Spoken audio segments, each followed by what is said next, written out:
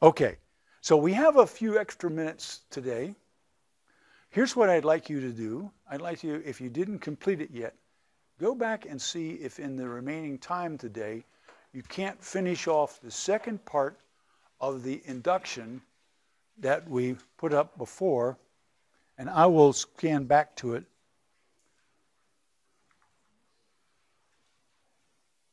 This one. Do the general case, assume that this is true for some integer k, which is at least 2, and show that it's true for k plus 1. If you know what you're doing, keep your head down and keep working. But if you're lost, I'm going to do it up here.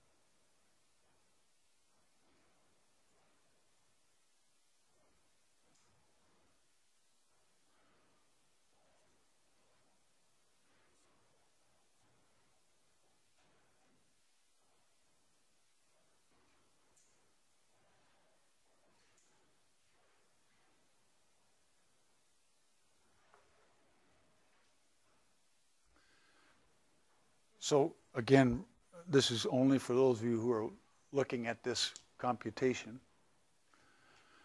Do you see what the first line is? The first line is the assumption of validity of the inequality when n is square root k. What did I do next? I added the term 1 over square root k plus 1 to both sides. That's what I need to do to make the left-hand side the term when n is 1 over, when n is k plus 1. Now, the question is, is that expression, square root k plus 1 over k plus 1, bigger than square root k plus 1? If it is, then I'm done. But I don't know. So I put a question mark on it. But that inequality is equivalent to the one below. What's the one below? What did I do there?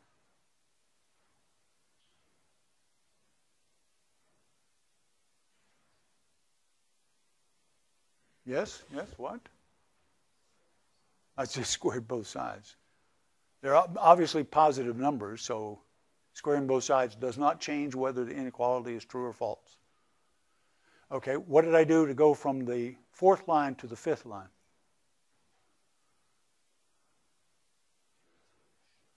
I just subtracted k from both sides. Okay. Now, is that true?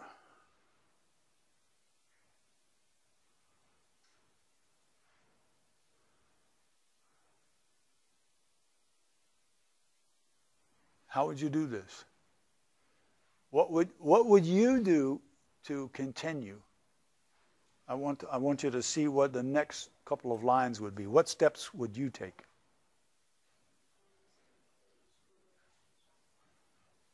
Say it a little louder.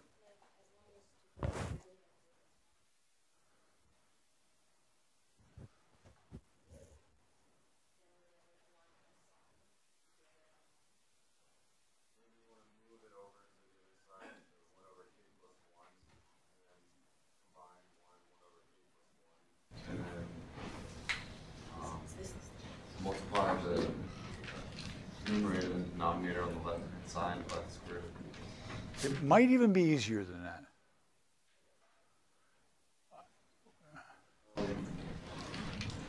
Could, are you allowed to subtract one over k plus one? We could, but I, Square. we're, we're, I'm willing at this time to make a step in which I, I drop the notion that the inequality is equivalent. I, I'm willing to take a weaker one. Is this true?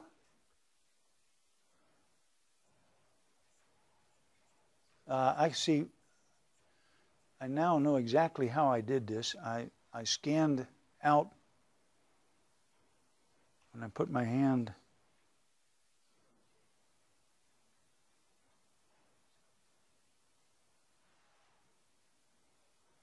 somewhere up here. Oh, I, maybe I did. Yeah, here it is. The engineer is happy because I I, uh, I just figured out how to solve a problem. Okay, now see my last line. Is my last line equivalent to the one immediately over it? No. But if it's true, if this one is true, then that one is true. It's a weaker statement, isn't it? Oh, and that's a. that- yeah. Okay. So the last one implies the one in front of it. Now, what I'm going to do is I'm going to pull this page off. I'll put it back on in just a second because all I want is that top line. Now I'm going to write something that's equivalent to that by squaring both sides. So if I square both sides, this becomes 4k over k plus 1, question mark 1. Now these two are equivalent. But this one is stronger than that one. Is that true? Now multiply both sides by k plus 1.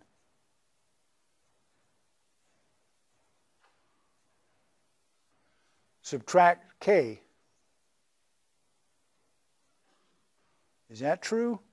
Yes, because k is at least 2. That's true in spades.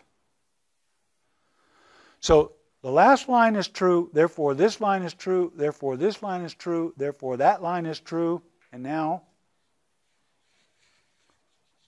therefore this is true, therefore that's true, therefore that's true, done.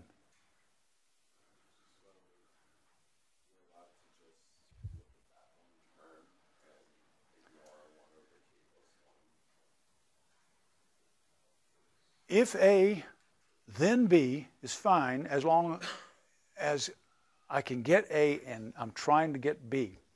I, I'm not always required to stay with equivalent inequalities. You just can't use the inequalities backwards. You can't prove a stronger result with a weaker inequality. So induction and these proofs can, can get interesting along the way.